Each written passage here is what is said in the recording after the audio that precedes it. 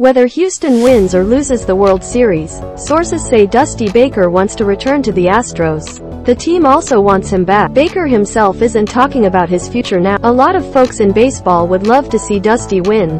Then again, baseball lifer Rob Thomson has many fans too. The pick here, Phillies in 7. Dusty Baker celebrates after the Astros advance to the World Series. The Rangers are going to pony up for Jacob deGrom for sure, a rival predicts.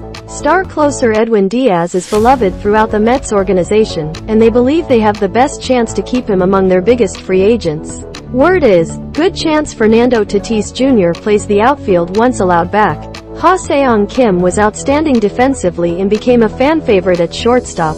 As much as they like him, the Red Sox are not planning to extend the qualifying offer, $19.65 million, to JD. The Diamondbacks seek a right-handed bat, the Padres a corner bat. Firing Yankees manager Aaron Boone would have been tough, as he's as popular with his players as he is currently unpopular with fans. The recommendation here, hire an experienced bench coach who can navigate October urgency. Larry Bowa, who played with Boone's dad on the 1980 champion Phillies, who beat the Astros in the NLCS incidentally, would be a great choice. Miami resident Raul Ibanez impressed the Marlins before he bowed out of the managerial derby due to family considerations. Matt Quatraro, Clayton McCullough, Dad Howard is a Royals scout, Will Venable, Vance Wilson, Scott Thorman and Pedro Grifol are among candidates for Royals manager.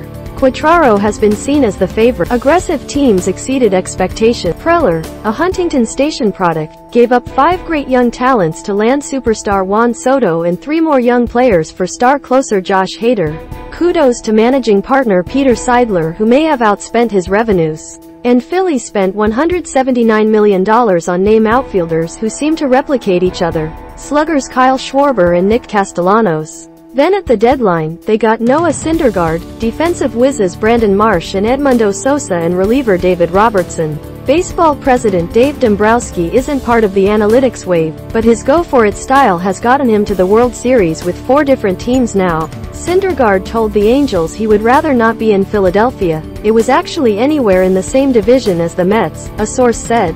Well, as it turns out he loves it in Philly, and has every reason to be extremely happy now. David Stearns did a terrific job in Milwaukee. He makes sense for either the Mets or Astros, whose baseball ops situation seems oddly uncertain considering how great GM James Click has done.